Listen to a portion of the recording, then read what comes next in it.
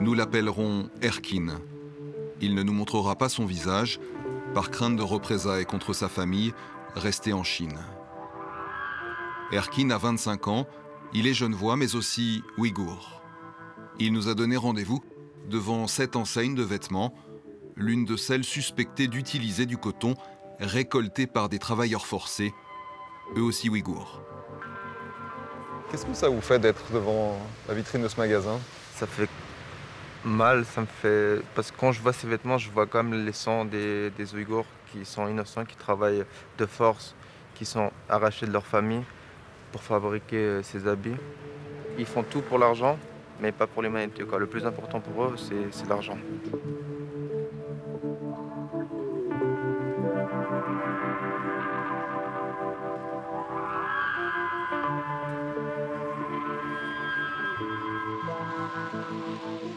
Erkin et sa famille habitent dans le centre de Genève.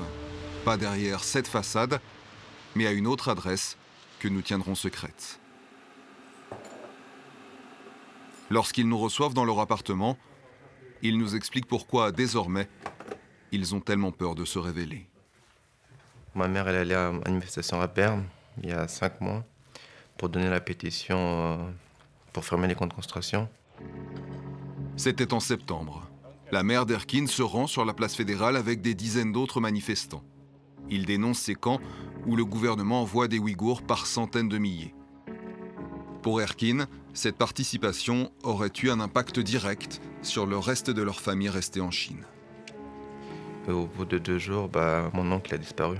Ils l'ont appelé au commissariat et depuis on n'a plus de nouvelles de lui. Est-ce qu'il est mort ou est-ce qu'il est dans les camps de concentration? On n'en sait pas. On espère qu'il va bien, quoi. Vous pensez que c'est à cause de votre mère à la manifestation? Je pense pas, je suis sûr à 100%. Il a, il a rien fait de mal, quoi. À part respirer, vivre, non, il a rien fait de mal. Pour la mère réfugiée en Suisse depuis longtemps, c'est un sentiment de totale impuissance. Son frère aurait été convoqué à la police et ne serait jamais revenu. Vous croyez qu'il est où, votre frère? Maintenant, je ne sais pas. Soit au camp de, rééducation, soit en prison. Je ne sais pas.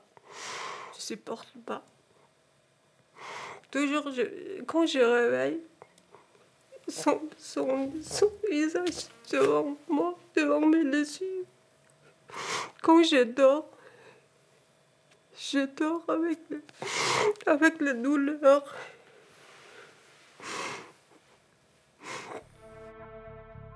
Son inquiétude est plus que compréhensible. Ce qu'on entend sur ces camps n'a rien de rassurant. Les autorités chinoises en ont bâti des centaines, des camps dits de déradicalisation. L'objectif est de tuer les velléités contestataires dans la province du Xinjiang, où vit ce peuple ouïghour à majorité musulmane. Les journalistes étrangers n'entrent pas dans ces camps, et les seules images qu'ils en ramènent sont ces plans filmés clandestinement depuis l'extérieur. Pour comprendre ce qui se passe derrière ces murs, nous sommes allés aux Pays-Bas, dans la ville d'Utrecht. C'est là que nous avons rendez-vous avec un des rares témoins de ce qui se passe dans ces camps. Kelbinur s'est réfugié ici après avoir passé des mois dans plusieurs de ces camps, non pas comme détenu, mais comme professeur de chinois. On ne lui a pas donné le choix.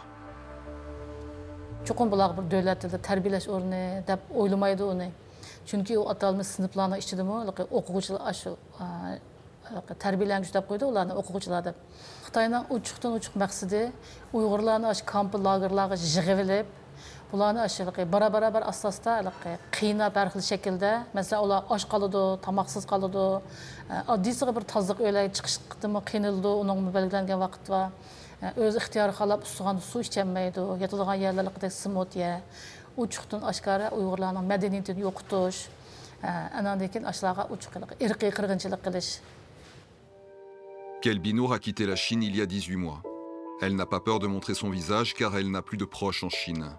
Elle raconte que ses souvenirs rendent toujours ses nuits, notamment les viols et les tortures qu'elle décrit contre les jeunes femmes. biz ders aralıklarda aşağıdaki okuşlarını çağırıp eçki tutudan sakçılar numarını çağırıp şu maçı numaralıklar çıksın deydi. Ular çıktıpla bir 20 minut yarım saat ötmeyle aşağıdan şunda içiniş alakı. E, Hemen gün düştü 13 günün bir gece bir saat e, demelişi vakti. Şu vakti de mu aşağıdan şunçalık azaplık vakti e, avazlarını anlap durmayız, içinişlik facialarını anlap durmayız. Adrian Zenz est l'un des 10 Européens visés cette semaine par des sanctions de Pékin. Good morning, Mr. Zenz. Il faut dire que ce chercheur établi aux États-Unis est l'un des premiers à avoir alerté la communauté internationale sur ces camps. Il épluche photos satellites et rapports internes du gouvernement chinois pour comprendre ce qui s'y passe. Basically, people are being broken by being subjected to very rigid routines, even physical abuse, um, and they are being subjected to very limited diets. They are having to undergo obedience exercises where they have to sit still for hours. They have to recite Communist Party slogans and learn Chinese characters and the Chinese language. Mais les autorités chinoises livrent une toute autre version de ce qui se passe dans ces camps. Voilà les images que diffuse la télévision chinoise en anglais. On y présente des camps d'apprentissage comme de sympathiques stages de formation où les résidents peuvent apprendre un métier et développer leurs talents artistiques. Nous avons interpellé l'ambassadeur chinois à Berne et voilà comment il nous décrit ces camps.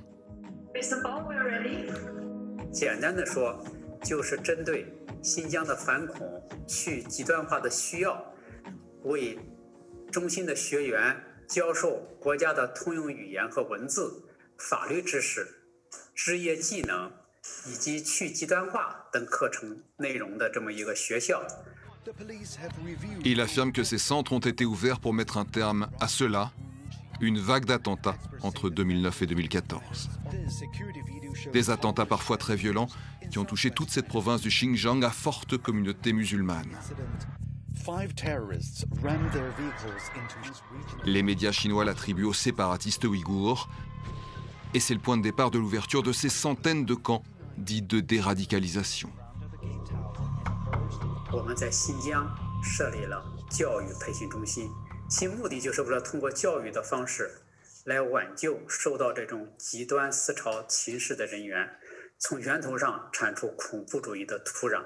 通通同时呢，通过普及法治、文化教育和技能培训，来创造呃提升和创造就业机会，啊，使那些受到极端和暴恐思想的人尽快的回归社会。Monsieur l'ambassadeur lit beaucoup pendant l'interview. Le discours est une sorte de copier-coller de ce que l'on voit dans ces vidéos diffusées par la télévision nationale chinoise. On y montre ainsi un pensionnaire faire visiter son camp à sa famille et y vanter le confort offert.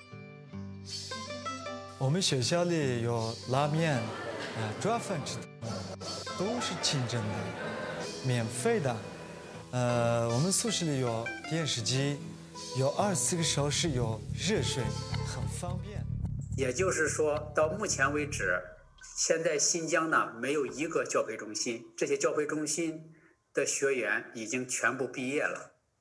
Vous me dites, monsieur l'ambassadeur, que tous ces camps aujourd'hui sont vides. Il n'y a plus de camps au Xinjiang. Ça n'existe plus. Première nouvelle. Pékin n'a jamais laissé entendre que ces camps seraient désormais vides. Pourtant, à Genève, Erkin se demande toujours où se trouve son oncle depuis cinq mois. Il nous raconte aussi qu'il avait une relation amoureuse à distance avec une jeune fille au Xinjiang, ouïghour elle aussi. J'avais trouvé une copine là-bas. Je restais trois ans en relation par, par téléphone. Elle, je peux l'affirmer, qu'elle est rentrée dans les coins à cause de moi. Du jour au lendemain, on discutait normal, du beau temps, de la pluie. Elle a disparu. J'avais plus de nouvelles. Au bout de trois mois, elle m'a appelé.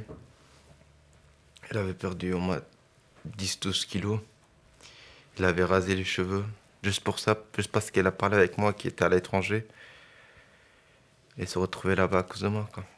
Qu'est-ce qui se passe dans ces camps? Elle me... disait qu'il était... Il y avait 12 femmes enfermées sur 10 euh, mètres carrés. Il y avait une sorte de toilette. Tout le monde faisait ses besoins là-bas. Il n'y avait pas de vie privée. Des fois, ils leur injectent un produit. Au début, on ne savait pas. Maintenant, avec les recherches qu'ils ont pu faire, on a vu que c'était pour stériliser les femmes. Les récits de stérilisation dans ces centres sont tristement fréquents.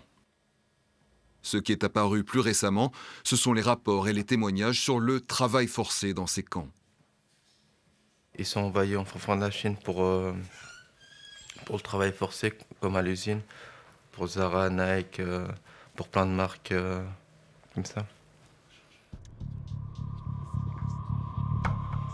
Il s'agirait d'un système d'exploitation massif, des foules de détenus déplacés depuis ces camps. Des détenus comme ceux-là, envoyés de force, travailler à la récolte du coton. Sur ce front-là aussi, Adrian Zenz est en première ligne. C'est lui qui a tiré la sonnette d'alarme. The initial evidence I was able to gather, um, despite a lack of official statistics, is that in 2018 alone, um, there's direct evidence for nearly 600,000 ethnic minorities, mostly Uyghurs, being transferred to pick cotton. Although, if you take into account uh, regions for which there was not data, uh, this figure is likely uh, higher by several hundred thousand. It could be close to a million. We don't know exactly. It's a very large scale phenomenon.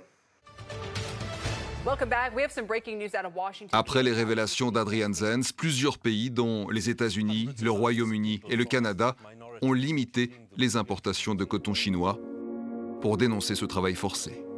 Les grandes marques mondiales d'habits sont interpellées pour cesser d'utiliser du coton du Xinjiang. Zara en particulier est montrée du doigt pour son manque de réaction. Nous avons interpellé Inditex, la maison mère. Voilà ce qu'elle nous répond.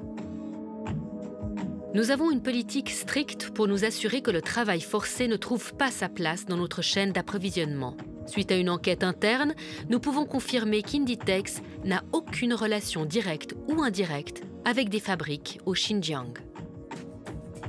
En ligne de mire des sanctions américaines, il y a notamment cette entreprise, Haifu Textile, qui exploiterait des Ouïghours.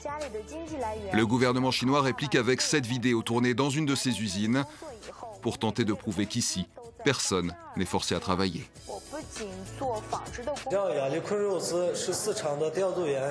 呃，是完全自愿来企业工作上班的。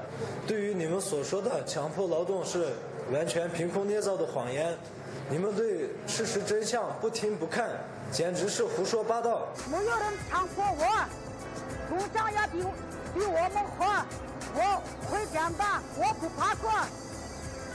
工厂很好，工厂好，我还要努力。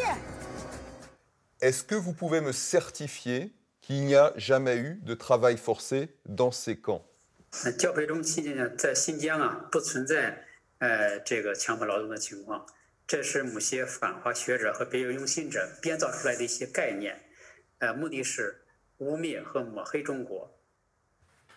la cause des Ouïghours est désormais très présente sur les réseaux sociaux et très connue des jeunes occidentaux. À Genève, le petit frère d'Erkin n'a plus à expliquer à l'école à quelle communauté il appartient et en quoi celle-ci est persécutée. Tes copains, ils savent ce que c'est euh, les Ouïghours Avant, ils ne savaient pas, mais depuis qu'il y a les réseaux sociaux ou les influenceurs ou les youtubeurs qui mettent des vidéos, ben, ils connaissent mieux les Ouïghours. Et toi, quand tu vois ces vidéos, tu te sens comment? Ben, blessés, puisque ils font, il y a des personnes, ils font rien. Le fait de rien pouvoir faire, c'est vraiment pesant. Des fois, pendant une semaine, on essaie de ne pas regarder, parce qu'à force de voir la même chose, la même chose, même psychologiquement, c'est dur. On essaie de faire comme on peut, on essaie de partager sur les réseaux sociaux ce qui se passe là-bas. Est-ce que les gens y regardent vraiment? Je pense pas. La mobilisation a pourtant contribué à pousser les Occidentaux à prendre des premières sanctions. Elles ne suffiront peut-être pas à changer les choses, mais le monde a désormais une petite idée de ce qui se passe derrière ces murs.